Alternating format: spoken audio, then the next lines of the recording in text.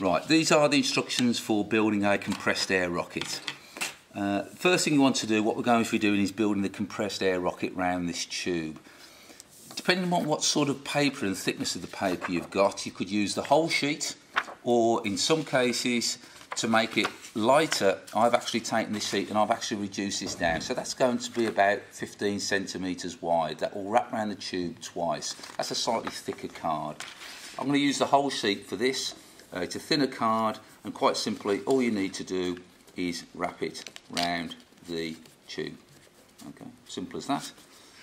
You want it so it's a snug fit, tight but not too tight that it drags. And then quite simply you sellotape it down the edge like so.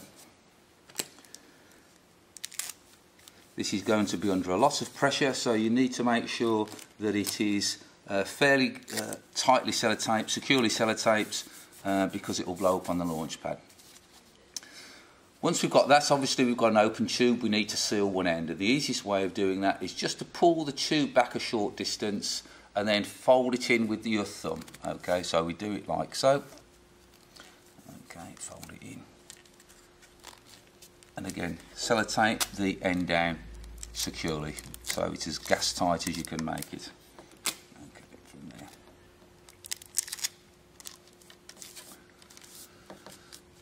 Next thing we need to do is we need to make uh, a nose cone so it's aerodynamic and the easiest way of doing that is to take a piece of card and to draw a circle on it. I've done that. Now the size of the circle will depend, will change the shape of the cone so you can make it larger or smaller. The easiest thing I found is to take a roll of, a big roll of sellotape and to draw it as a circle. Once you've done that you need to cut it out. This is one that I've cut out earlier as in Blue Peter and then we want to form that into a cone shape. To do that, you can cut into the middle, like so, and it's easier to take a piece out, a cheese wedge out, okay, like so. You can then wrap it round. Now, by taking out larger or smaller cheese wedges, you can change the shape. So if you take out a, a bigger cheese wedge, you can get a much tighter cone shape. Okay, so you can decide what sort of shape that you like. It's going to go from there. So I've got it like so, and then again, we can sellotape it down. It's fixed into place. We can trim off any excess. Like so. Okay, we then need to attach that onto the end of the rocket. So I'll put it on there this is the fiddly bit where you probably want more than uh, one pair of hands. Okay, I shall just do this quickly. Again, you want to try and make that as secure as possible. Doesn't matter how cosmetically it looks, but then we've got like so.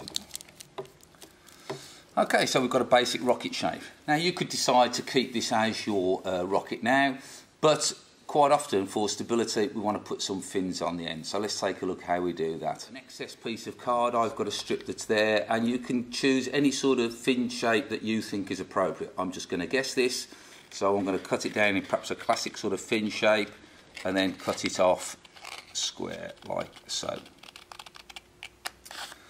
Okay, now we're going to want four of those uh, as an identical shape. So I'm going to use that. I'm going to use that as a template. I say four. You may to use uh, may choose to use three. So we don't need to be too accurate, but uh, we do want to try and get them fairly similar. It's going to go from that. So I'm just using that as a template. You could choose to draw around it if you so choose. And I'm just going to produce four of those. Okay, so we've got our four shapes. If I just take those out for now.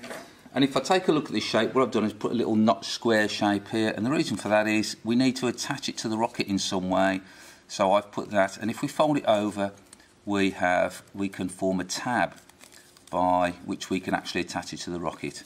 Now, previous experience tells us actually what is quite a good way of doing this, but again, you can choose. If you cut that into half, if you fold one tab one way and then one the other, and then we've got a tab that will then quite nicely attached to the base of our rocket. And what we then need to do is we need to attach those to our rocket with either glue or sellotape or a mixture of both. It needs to be fairly secure and we will have our completed rocket.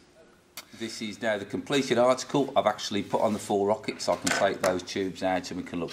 Now I've just stuck those on with Pritt stick. So they're a bit flimsy, they might come off in flight. So they're worth reinforcing with sellotape down each of those. And there we have our completed rocket.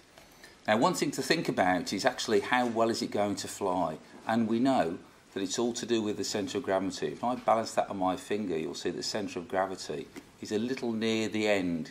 If we can move the centre of gravity closer to the top of the rocket, it'll fly better. So the secret of good flight is that you need to move the centre of gravity. So I'm going to let you work out how to actually do that. And there's your completed rocket, and then we're going to go off and fire them.